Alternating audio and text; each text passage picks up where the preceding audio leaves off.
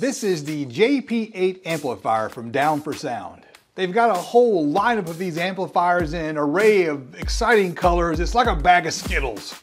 I bought this amp about six months ago, mostly because I like the way it looks. So now it's time to give it a review. I'll go over all the connections in greater detail later on in the video, so stick around if you want to see that. For now, I want to cover three important things before we do the amp dyno. Thing number one is this right here. This is the bass knob. This is the absolute bass knob I have ever used. The only downside is that it's a little bit bright and it tends to blind you a little bit when you're driving at night, so don't look directly at it at night. It's beefy and it's sturdy and it's got a good feel. It also has a power light, a protect light, and a clip light, as well as a display that will either give you your voltage or your temperature. I've had several viewers ask about the accuracy of the clip light, so we're gonna test that out a little bit later in the video as well.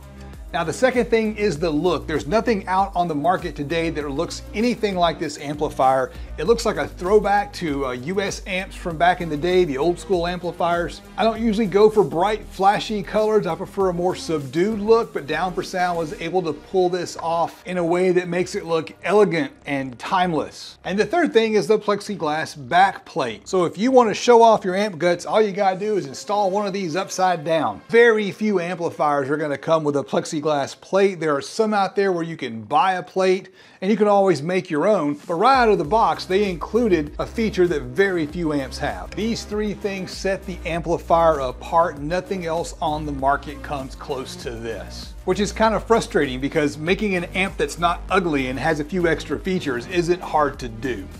But none of that matters if the amp can't make its power. So let's set up the DIY resistor bank and let's see what kind of damage this thing can do. We're gonna start off with the 4 ohm rating.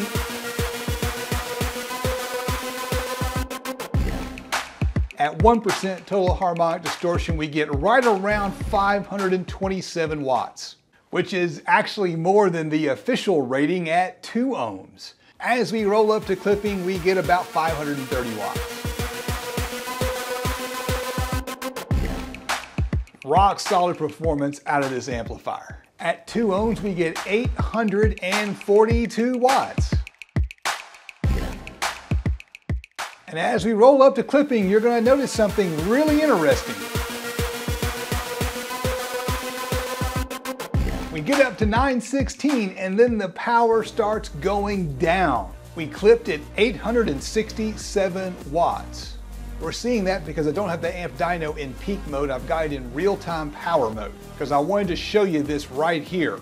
The voltage dropped to 13.3 volts. On the Down4Sound website, they make it very clear that you need to have a good solid electrical system in order to get the most possible power out of this amplifier. And I'm gonna show you why all that matters after I finish thanking my patrons with a special shout out to Dylan, Bo, and Baba. Time for the one ohm test. Let's see what this thing can do.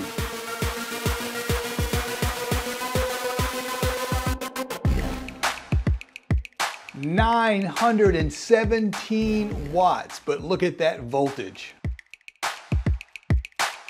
It's down to 12.61. Roll it on up to clipping and we get 990 watts, just shy of a thousand. But look what happened to the voltage. We're down to 11.67. When Derek Williston tested this amp, he got over 1200 watts out of it. Let me explain why we're getting a different result. I'm using a 100 amp power supply and the owner's manual says not to run it past about 80% capacity. Now I'm not set up to measure my DC current draw, that's something I want to add in the future, but I'm drawing more current than my power supply can handle and so the battery is now powering the amplifier, causing a big voltage drop. This is exactly what happens in your car when you try to draw too much current. So a test like this is a real good representation of what it's actually gonna do in your car if you don't have an upgraded alternator. Now, does that mean that you don't need to order this amplifier if you don't have an upgrade electrical system? No, that's not what it means at all. The amplifier will still run properly. You just can't get as much juice out of it. And that has nothing to do with this particular amp itself. Now, the only amplifiers for which that doesn't matter as much are ones that come with regulated power supplies. And they basically work by choking off the peak output of the amplifier so that when you have crappy voltage, you still get peak output. So I don't really see that as a good solution. The problem is simply that I don't have the capacity on my bench to get full power out of this amplifier. The other thing to remember is that we're playing test tones here. Test tones are not what you're going to listen to in your car. You're going to listen to music. I've been running it in my truck for a month. I absolutely love the sound and I've never seen the voltage drop below 13. Speaking of running it in a car, right here are the connections to do just that. These are four gauge terminals, which is what you should expect for a thousand watt amplifier. Zero gauge is nice, but you don't need zero gauge to run this amp. The speaker outputs appear to be about 8 gauge. Uh, there are, of course, a pair of outputs, but it's not a stereo amplifier, it's a mono amplifier. You just got two connections to make it easier to hook multiple speakers up to the amplifier.